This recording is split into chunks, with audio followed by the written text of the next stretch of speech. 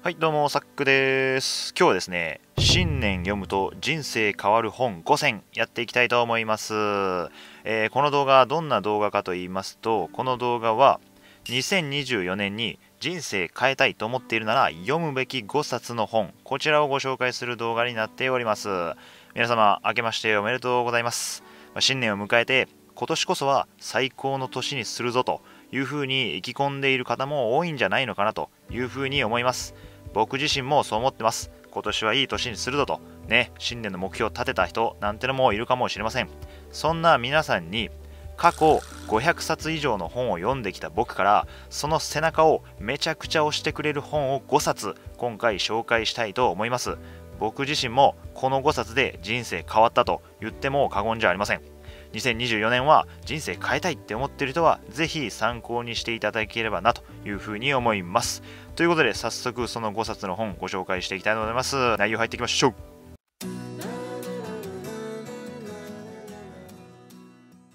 えー、人生変わる本5選こちらの5冊になっております、えー、1冊ずついきましょう。まず1冊目 Die with Zero こちらになります。この本は人生を変えるお金の使い方を書いた本になっております。皆さん今やりたいことはあるでしょうか、まあ、例えば旅行に行きたいとかスカイダイビングがしたい本を書きたいとかね。まあいろいろあると思うんですよね。そんなやりたいことがある人に著者はこう言います。なぜ今やらないんだと。この本が伝えたいことの結論はやりたいことがあるんならお金や時間をケチらずにやろう。これなんですよね。この本はお金について書かれた本なんですけどもお金の稼ぎ方を教えてくれる本ではありません。この本が伝えたいのは富を最大化させることじゃなくて人生の喜びを最大化させる方法。これなんですよね。その方法として本書が伝えているのがゼロで死のうっていうことなんですよ。Die with Zero ですよね。まあ要はお金なんて持ったまま死んでも意味ないから生きているうちにどんどん使おうぜっていうことをね著者は言ってるわけなんですよね。本書ではなぜ著者がその結論に至ったのかそして具体的にどういったことにお金を使うと人生の喜びが最大化するのかなどお金と幸福についてかなり具体的に書いてあるんですよね。本書を読んで僕はお金に対する価値観もガラッと変わりました、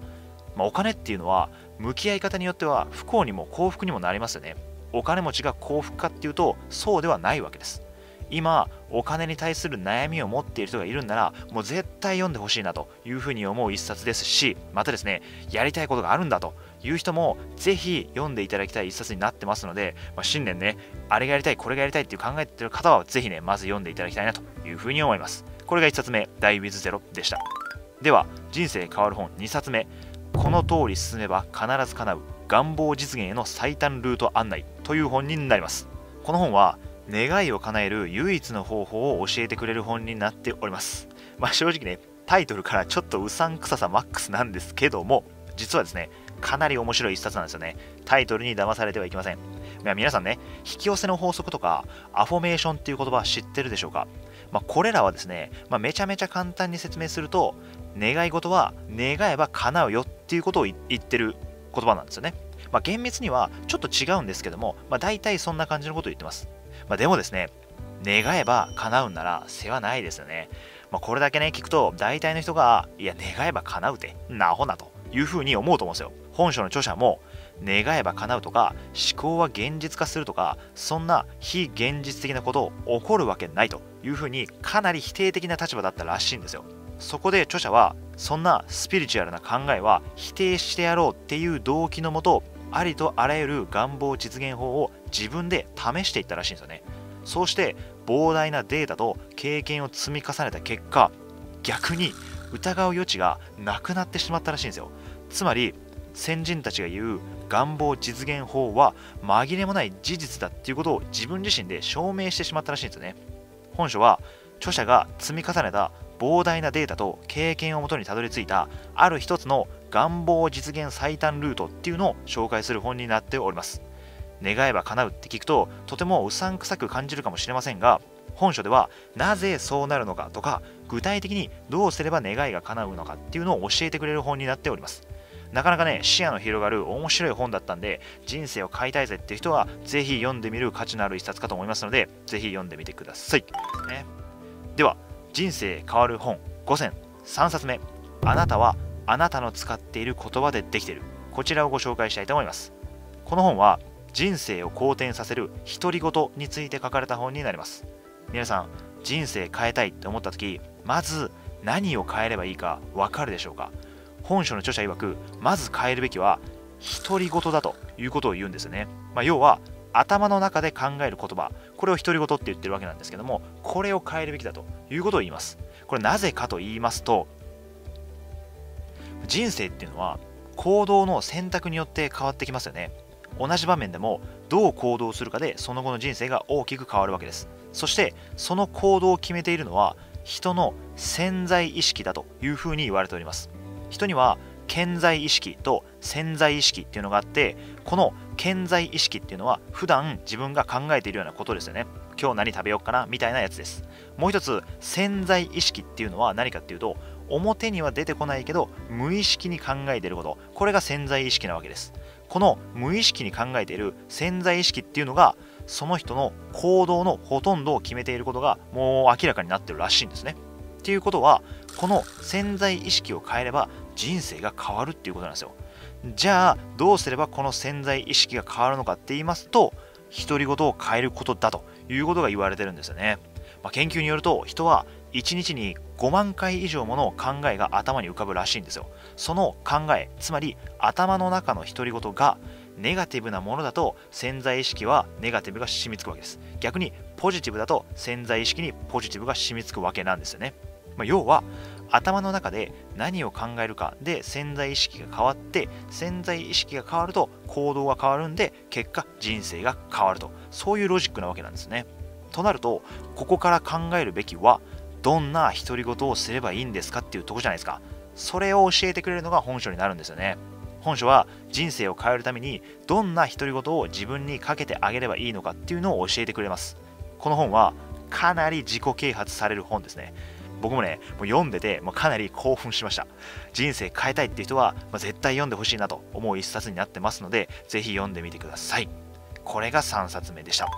では、人生変わる本5選、4冊目。人生は運よりも実力よりも勘違いさせる力で決まっている。こちらになります。この本は運や実力より大切な勘違いさせる力について書かれた本になります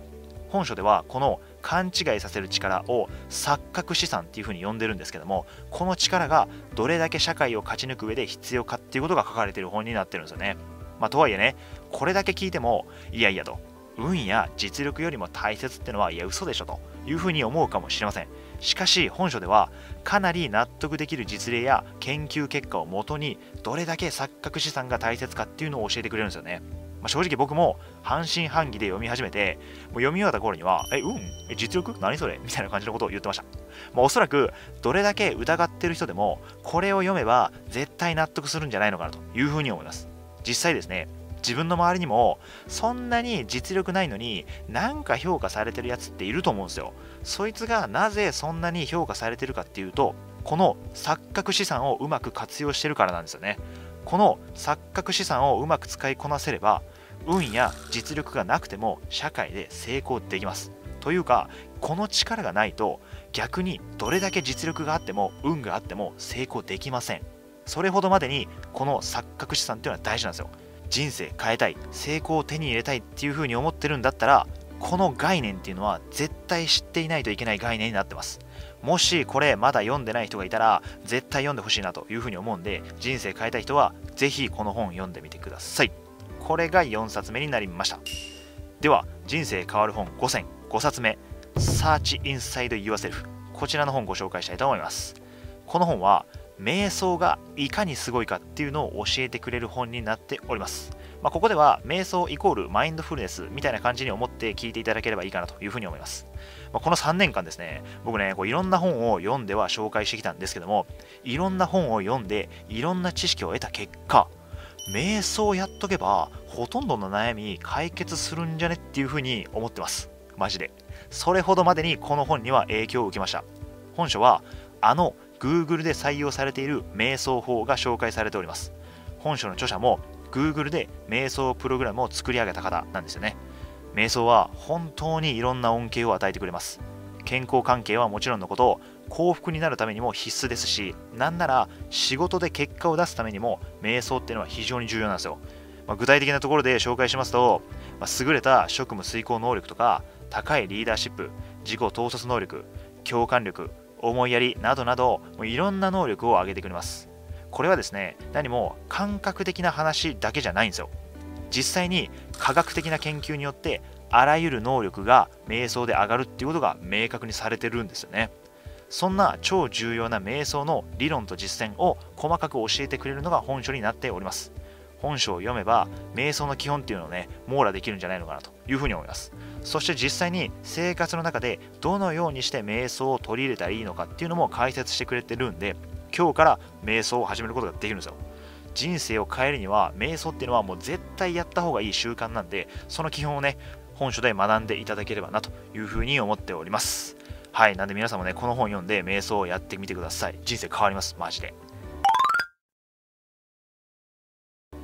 ということで5冊紹介させていただきました。いかがだったでしょうか？まあもしかしたらね、もう読んだことある本もあるかもしれないんですけども、まあ読んだことあっても何回読んでもね、かなり面白い本なんで、皆さんもね、何度でも読んでいただけたらなというふうに思います。人生変えたい、新年から最高の1年にしたいっていう方は、ぜひこの辺の本読んで、最高の人生にしていってみてください。ちなみにそれぞれの本も全部あの本要約として本チャンネルで紹介していますので、まあ、それもね概要欄にリンク貼っておきますんでそちらから飛んで詳しく見ていってみてください。ということで本日は以上になります。ご清聴ありがとうございました。この動画が面白かった人役に立ったという人は高評価とチャンネル登録お願いします。